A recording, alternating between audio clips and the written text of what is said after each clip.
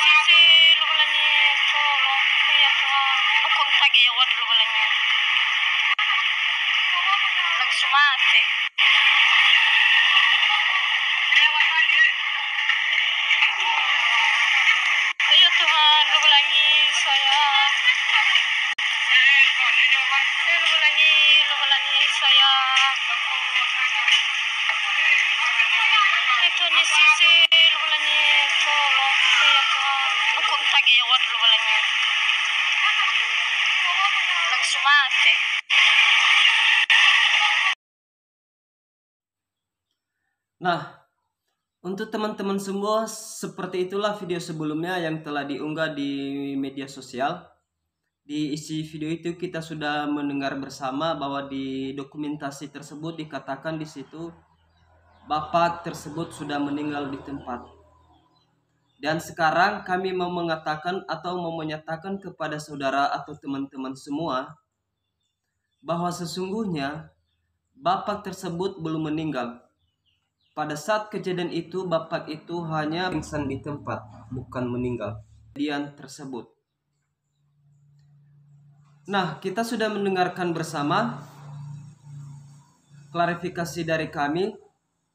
Semoga netizen tidak bertanya-tanya lagi tentang video itu karena di video sebelumnya banyak kata-kata atau prihatin yang mengatakan di komentar di kolom komentar di video sebelumnya di situ dikatakan rape.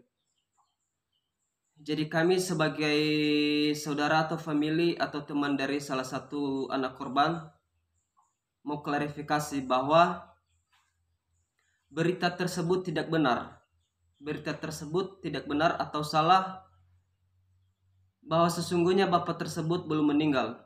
Namun setelah kejadian itu atau setelah kejadian kemarin itu bapak itu dibantu oleh warga diturunkan dari atap dan mungkin dibantu juga medis dan akhirnya pada saat itu juga atau pada beberapa jam kemudian akhirnya bapak itu sudah sadarkan diri dan sekarang bapak itu lagi dalam keadaan pemulihan atau lagi dalam keadaan perawatan jadi teman-teman sekali lagi kami mau mengatakan bahwa video tersebut yang sudah diunggah itu tidak benar. Berita sesungguhnya Bapak itu adalah masih hidup atau Bapak itu masih dalam keadaan pemulihan. Oke teman-teman sampai di situlah klarifikasi dari kami.